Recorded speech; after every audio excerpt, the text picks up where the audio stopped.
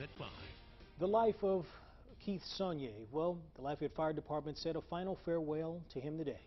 Inspector Chief Keith Sonnier passed away suddenly at his home on October 11th. News 10's Danielle Johnson spoke to family, friends, and fellow firemen. It's evident the type of person Chief Keith Sonnier was for the Acadiana community. Everyone I've talked to since his passing says how great of a man he was and how he was truly an honorable person.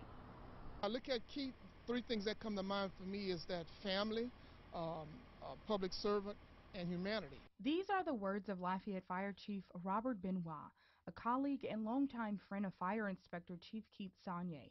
The veteran firefighter of over 30 years was honored with a procession involving law enforcement, the Honor Guard, and the Lafayette Fire Department.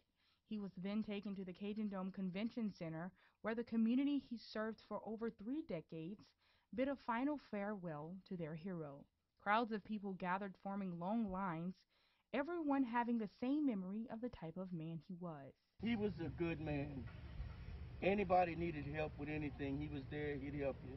Nedra Alexander, who works with the Lafayette Parish School System, and Dina Neighbors, a close family member, says the tragedy impacts the entire community. Love is evident by the people that you see who have gathered to celebrate his life.